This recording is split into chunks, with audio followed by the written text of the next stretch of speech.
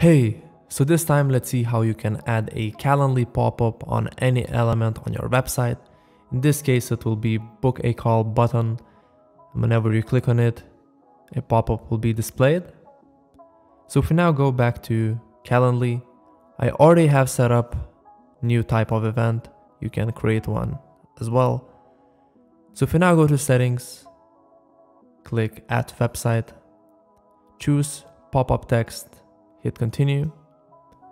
You can play around with the settings, but for now let's just copy this code here. Let's now go to Ycode. In the settings for custom code header, let's paste the code we copied. So here we have a tag element and we want to get this on click function here. Let's copy it. And let's also get rid of this a tag because we won't need it here. Save changes. Back to canvas. And here in my website, I already have designed the button I want to open pop-up with.